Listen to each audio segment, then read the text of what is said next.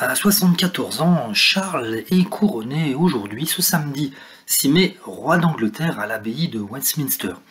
Cela se passe huit mois après le décès de sa maman, la reine Elisabeth II.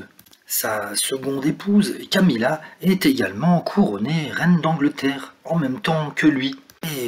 Ce couronnement a fait parler beaucoup sur les réseaux sociaux. Et les premières apparitions de Camilla dans le carrosse royal aux côtés de son époux, les internautes se sont déchaînés.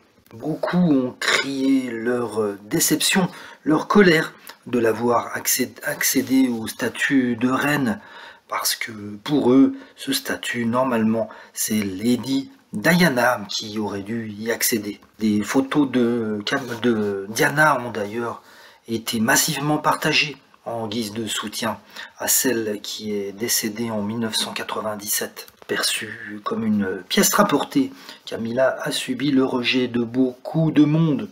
Elle ne sera jamais la vraie reine. Ou bien, c'est qui Camilla? On est indigné. Les témoignages sont nombreux à l'encontre de la nouvelle reine.